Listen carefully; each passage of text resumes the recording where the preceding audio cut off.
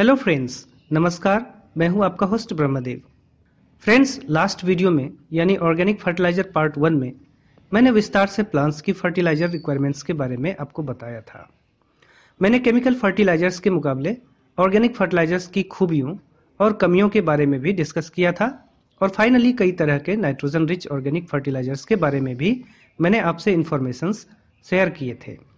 आज के वीडियो में मैं आपको फास्फोरस और पोटेशियम रिच ऑर्गेनिक फर्टिलाइजर्स के बारे में बताऊँगा। और अगर समय रहा तो कुछ अन्य स्पेशलाइज्ड फर्टिलाइजर्स के बारे में भी बताऊँगा। तो सबसे पहले शुरुआत करते हैं फास्फोरस रिच ऑर्गेनिक फर्टिलाइज़र से। यानी ऐसा फर्टिलाइज़र जिसमें नाइट्रोजन और पोटेशियम के मुकाबले फॉस्फोरस अधिक मात्रा में उपलब्ध रहता है। फॉस्फोरस एक ऐसा मुख्य पोषक तत्व है जिसकी ज़रूरत प्लांट्स को नाइट्रोजन के बाद सबसे अधिक मात्रा में होती है। फास्फोरस की ज़रूरत प्लांट्स को उसके जर्मिनेशन से लेकर मैच्योरिटी तक होता है।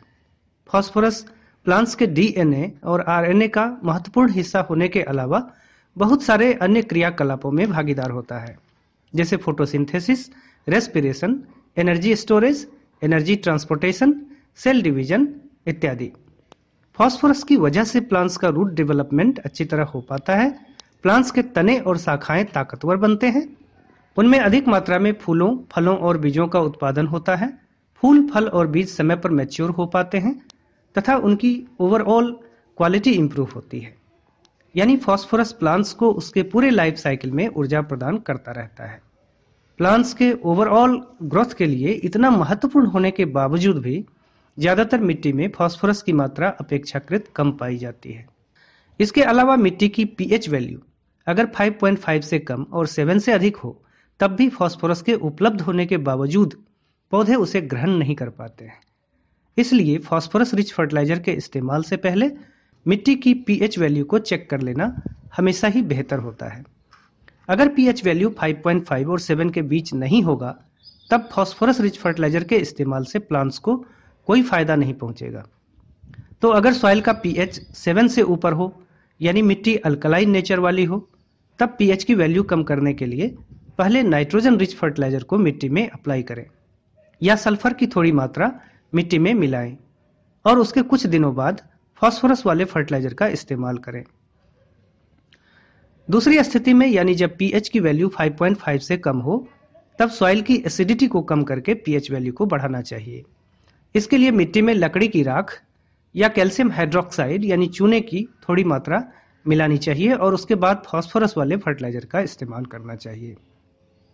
फ्रेंड्स वैसे तो फास्फोरस की ज़रूरत हर तरह के प्लांट्स को होती है, लेकिन फूल, फल और बीज का उत्पादन अधिक मात्रा में करने वाले ज़्यादातर प्लांट्स को फास्फोरस की ज़रूरत अधिक मात्रा में होती है। तो अब बात कर लेते हैं फास्फोरस से भरपूर कुछ ऑर्गेनिक फर्टिलाइजर्स की, जिसमें सबसे पहला फर्टिलाइज़र है बोन मील जैसा कि नाम से ही स्पष्ट है बोन मील जानवरों की हड्डियों के चूर्ण से बना हुआ एक ऑर्गेनिक मिक्सचर है। जिसमें पर्याप्त मात्रा में फास्फोरस और कैल्शियम मौजूद रहते हैं। इसमें 12 से 16 परसेंट तक की मात्रा में फास्फोरस और 18 से 24 परसेंट तक की मात्रा में कैल्शियम पाया जाता है। इसमें पोटासियम नहीं पाया जाता है, लेकिन कभी-कभी बहुत थोड़ी मात्रा में नाइट्रोजन की उपस्थिति रह सकती है। बोन मिल की एक खासियत यह है कि इसमें फास्फोरस जिस रूप में मौजूद रहता है, उसे प्लांट्स बहुत आसानी से इस्तेमाल कर सकते हैं। यानी बोन मिल के इस्तेमाल से प्लांट्स में बहुत तेज़ी से फास्फोरस के कमी की पूर्ति की जा सकती है। एक 10-12 इंच के पॉट में इसे 30 से 40 ग्राम तक की मात्रा में मिलाया जा सकता है। बोन मिल को सॉइल में अप्लाई करने के बाद उसे अच्छी तरह मिट्टी के साथ मिक्स करना चाहिए, ताकि इसके गंध से पक्षी या जानवर आकर्षित ना हो। चूँकि यह लंबे समय तक धीरे धीरे फास्फोरस रिलीज़ करता रहता है इसलिए कम से कम चार महीने बाद ही इसे दोबारा अप्लाई करें। अगर आप किसी प्लांट की सीडलिंग ट्रांसप्लांट कर रहे हैं या किसी प्लांट को रिपोर्ट कर रहे हैं, तब भी ऐसा करने से पहले सॉइल में बोन मील अप्लाई कर सकते हैं। हर तरह के बल्ब वाले प्लांट्स सक्यूलेंट्स सिट्रस प्लांट्स तथा अन्य फ्लावरिंग और फ्रूटिंग प्लांट्स में बोन मील को अप्लाई किया जा सकता है। हरे और पत्तेदार सब्जियों में फास्फोरस के बजाय नाइट्रोजन की आवश्यकता अधिक होती है, इसलिए वहाँ बोन मील अप्लाई करने की ज़रूरत नहीं होती है। Friends, phosphorus rich organic fertiliser के तौर पर सबसे अधिक इस्तेमाल होने वाला अगला महत्वपूर्ण फर्टिलाइज़र है प्रोम, या पी आर ओ एम यानी फॉस्फोरस रिच ऑर्गेनिक मैन्योर। इसे ग्रीन केमिस्ट्री फॉस्फेटिक फर्टिलाइज़र भी कहा जाता है। अलग अलग ब्रांड नेम से यह आपको मार्केट में मिल जाएगा। मैंने बायोजाइम के नाम से मिलने वाला टू के का प्रॉम फर्टिलाइज़र का यह पैकेट लगभग टू फिफ्टी रुपीज़ का खरीदा था। प्रॉम फर्टिलाइज़र ग्रैनुलर फॉर्म में मिलता है, जो बिल्कुल डीएपी की तरह ही दिखता है यह बेसिकली दो तरह की चीज़ों को मिलाकर एक साथ कंपोस्टिंग करने से बनता है। पहली चीज़ है प्राकृतिक रूप से प्राप्त होने वाले रॉक फॉस्फेट का महीन पाउडर और दूसरी तरह की चीज़ जिनके साथ रॉक फॉस्फेट के पाउडर की कंपोस्टिंग की जाती है, वो है अलग अलग तरह के ऑर्गेनिक मेन्योर्स जैसे compost vermicompost cow dung kitchen waste आदि। इसके पहले केवल रॉक फॉस्फेट को ही फॉस्फोरस के ऑर्गेनिक विकल्प के तौर पर इस्तेमाल किया जाता था। लेकिन रॉक फॉस्फेट में उपस्थित फॉस्फोरस प्लांट्स के लिए तुरंत उपलब्ध नहीं हो पाता है। इस कारण रॉक फॉस्फेट को पौधे लगाने से दो तीन महीने पहले ही मिट्टी में मिलाना पड़ता था। लेकिन प्रोम फर्टिलाइज़र में उपस्थित फॉस्फोरस प्लांट्स के लिए रेडिली उपलब्ध होते हैं और फॉस्फोरस के साथ उसमें ऑर्गेनिक मेन्योर्स में पाए जाने वाले अन्य पोषक तत्व भी उपलब्ध रहते हैं। आजकल डीएपी और एसएसपी जैसे फॉस्फोरस रिच केमिकल फर्टिलाइज़र के ऑर्गेनिक विकल्प के तौर पर प्रॉम फर्टिलाइज़र का उपयोग सक्सेसफुली किया जा रहा है। बहुत सारे लोग जो शाकाहारी होते हैं बोन मिल के इस्तेमाल से परहेज करते हैं। ऐसे लोग बोन मिल की जगह प्रॉम फर्टिलाइज़र का इस्तेमाल बेहिचक कर सकते हैं। इसके कुछ दानों को यानी आधे से एक चम्मच तक की मात्रा में 10 से 12 इंच वाले पॉट की मिट्टी में मिलाएँ। इसे बार बार इस्तेमाल करने की ज़रूरत नहीं होती है। साल भर में अधिकतम दो बार से ज़्यादा इसे अप्लाई नहीं करना चाहिए। सीजनल प्लांट्स के लिए मिट्टी तैयार करते समय या पौधे की ट्रांसप्लांटिंग के समय पॉट की मिट्टी में रूट बॉल के आसपास इसे आप मिला सकते हैं। तो friends phosphorus rich organic fertilizers के दो महत्वपूर्ण स्रोतों के बारे में मैंने आपको बताया और अब बारी है पोटेशियम रिच ऑर्गेनिक फर्टिलाइजर्स के बारे में बात करने की। प्लांट्स के द्वारा सबसे अधिक मात्रा में उपयोग किए जाने वाले बृहद पोषक तत्वों में नाइट्रोजन और फास्फोरस के बाद तीसरे स्थान पर है पोटेशियम। हालाँकि पोटेशियम प्लांट्स के किसी भी पार्ट को बिल्डअप करने में खुद भाग नहीं लेता है, लेकिन यह लगभग 80 प्रकार के अलग अलग तरह के ग्रोथ से रिलेटेड प्लांट एंजाइम्स को सक्रिय करता है और प्लांट्स के पानी को इस्तेमाल करने की क्षमता को बढ़ाता है। इससे पौधे की और उसके द्वारा होने वाली उपज, यानी फूल, फल और बीजों की साइज़, शेप, कलर और टेस्ट में इंप्रूवमेंट्स आती है। डिज़ीज़ और पेस्ट अटैक के प्रति रेजिस्टेंस डेवलप होता है। अत्यधिक ठंड और गर्म मौसम की मार सहने की क्षमता में वृद्धि होती है और सूखे को बर्दाश्त करने की क्षमता भी बढ़ती है। कहने का मतलब यह है कि पोटेशियम प्लांट्स की हर तरह की क्वालिटी को इम्प्रूव करता है और इसी वजह से अक्सर इसे क्वालिटी एलिमेंट भी कहा जाता है। पोटेशियम की कमी होने पर पत्तों के किनारे वाले भाग झुलस जाते हैं। आगे वाले भाग टेढ़े मेढ़े हो जाते हैं और पत्तियों के बीच वाले भाग में पीलापन आ जाता है। इसके अलावा पौधों की जड़ों का विकास रुक जाता है प्लांट्स में बोनापन आने लगता है और फलों तथा बीजों की गुणवत्ता में कमी आ जाती है। साधारण तौर पर पोटेशियम की ज़रूरत हर तरह के प्लांट्स को हर स्टेज में होती है, लेकिन फ्लावर्स फ्रूट्स और सीड्स प्रोड्यूस करने वाले प्लांट्स को फ्लावरिंग स्टेज से ठीक पहले से लेकर फ्रूट्स या सीड्स की मेच्योरिटी तक एक्स्ट्रा पोटेशियम की ज़रूरत पड़ती है। तो आइए अब मैं आपको कुछ पोटेशियम रिच ऑर्गेनिक फर्टिलाइजर्स के बारे में बताता हूँ। Friends potassium rich organic fertilizers की मेरी लिस्ट में पहला फर्टिलाइज़र है सीवीड एक्सट्रैक्ट इसे केल्प एक्सट्रैक्ट या कैल्प फर्टिलाइज़र के नाम से भी जाना जाता है। मैं इफ्को ब्रांड का सागरिका नाम वाला सीवीड एक्सट्रैक्ट इस्तेमाल करता हूँ। मार्केट में और भी अलग अलग ब्रांड्स वाले सीवीड एक्सट्रैक्ट आपको आसानी से मिल जाएँगे।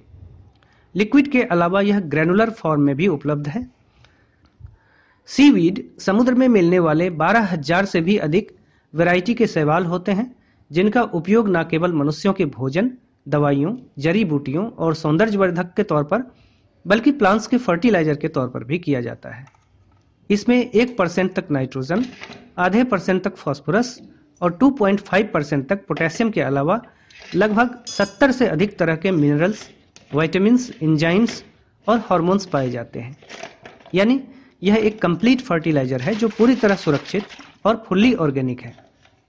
इसे दो से तीन मिलीलीटर की दर से प्रति लीटर पानी में मिलाकर प्लांट्स के ऊपर स्प्रे करें और प्लांट्स की मिट्टी में भी ऐड करें। इसे तीन से चार हफ्तों के अंतराल पर आप रिपीट कर सकते हैं। हालाँकि इस फर्टिलाइज़र में नाइट्रोजन फास्फोरस और पोटेशियम का परसेंटेज बहुत ज़्यादा नहीं है लेकिन दूसरे बहुत सारे अन्य पोषक तत्वों की मौजूदगी के कारण इसे प्लांट्स की ग्रोथ के शुरुआत से लेकर मैच्योरिटी तक, यानी हर स्टेज में सफलतापूर्वक अप्लाई किया जा सकता है। Friends potassium rich organic fertilizers की लिस्ट में दूसरा फर्टिलाइज़र है वुड एस यानी लकड़ी की राख। इसमें एक से दो परसेंट तक फॉस्फोरस चार से दस परसेंट तक पोटेशियम और लगभग ट्वेंटी परसेंट तक कैल्शियम के अलावा मैग्नीशियम और ट्रेस एलिमेंट्स भी पाए जाते हैं। इसमें नाइट्रोजन बिल्कुल भी नहीं पाया जाता है। फर्टिलाइज़र के तौर पर लकड़ी की ऐसी राख का इस्तेमाल बिल्कुल भी नहीं करना चाहिए, जिसके लिए लकड़ी के साथ कागज़, कार्डबोर्ड, प्लाईबोर्ड, पेंट की हुई लकड़ी, प्लास्टिक, रबड़ या अन्य केमिकल्स अथवा केमिकली ट्रीटेड लकड़ी को जलाया गया हो। अन्यथा लाभ के बजाय हानि होने की संभावना अधिक होगी। इसे थोड़ी मात्रा में मिट्टी में मिलाया जा सकता है। प्लांट्स के चारों ओर पॉट की मिट्टी के ऊपर छिड़काव किया जा सकता है। परंतु उडैस एक हाईली अल्कलाइन मटेरियल है और इसमें साल्ट की मात्रा भी पाई जाती है।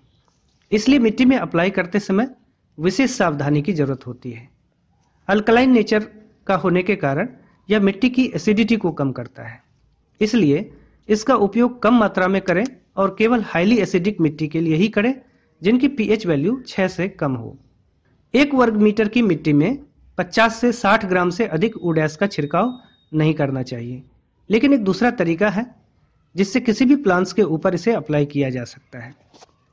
वह तरीका है वुड एस का प्लांट्स के भीगे पत्तों के ऊपर छिड़काव करना। इससे उडैस पत्तों के ऊपर चिपक जाते हैं और पौधे पत्तों के माध्यम से पोषक तत्वों को एब्जॉर्ब कर लेते हैं। इसका एक दूसरा फ़ायदा यह होता है कि बहुत सारे पेस्ट का पौधों के ऊपर अटैक रुक जाता है। यानी वुड एस पेस्ट रिपेलेंट का काम भी करता है। विंटर में ओस गिरने के कारण पौधों की पत्तियाँ पहले से भीगी हुई रहती है, इसलिए उस पर सीधे उडैस का छिड़काव किया जा सकता है। बरसात में उडैस का प्रयोग नहीं करना चाहिए।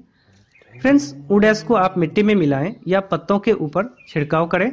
ध्यान यह रखें कि इसे हमेशा कम मात्रा में प्रयोग करें तथा किसी भी नाइट्रोजन वाले केमिकल फर्टिलाइज़र के साथ इसका प्रयोग ना करें।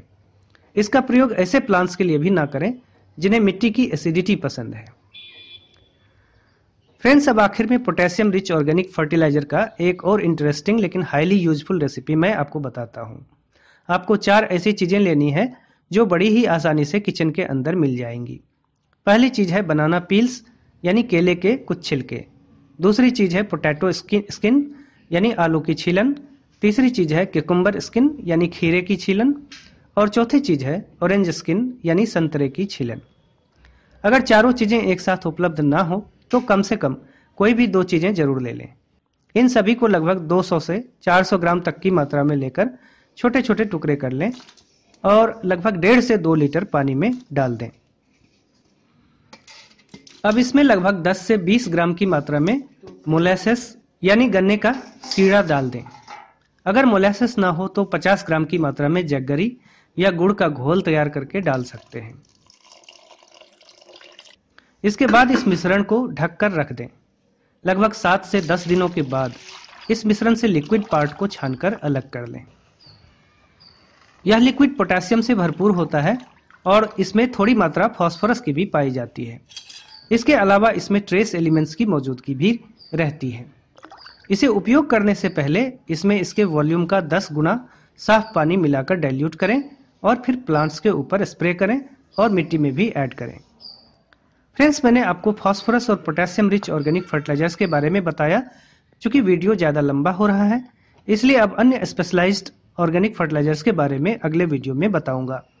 आशा है वीडियो में दी गई जानकारी आपके लिए हेल्पफुल साबित होगी। कृपया लाइक बटन दबाकर अपनी पसंदगी का इजहार ज़रूर करें और इसी तरह के ढेरों इंटरेस्टिंग वीडियोस के लिए सिटी गार्डनिंग चैनल को सब्सक्राइब भी करें। सवाल पूछने के लिए नीचे दिए गए कमेंट बॉक्स का उपयोग कर सकते हैं। Thank you for watching